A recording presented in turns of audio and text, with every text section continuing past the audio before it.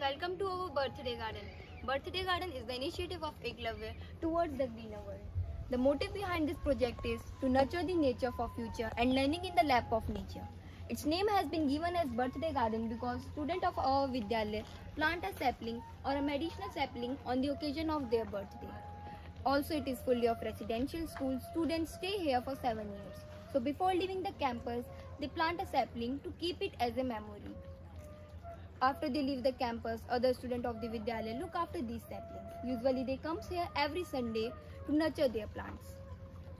The garden has started flourishing variety of plants like mango, citrus, guava and some medicinal plants such as rudraksh, neem, pitch. We are proud to say that presently in our garden 250 fruits and some medicinal sapling have flourished and some of them have started fruiting. As you can see this avla tree, it has started fruiting and this lychee plant was planted previous year and it is also being very well taken care of.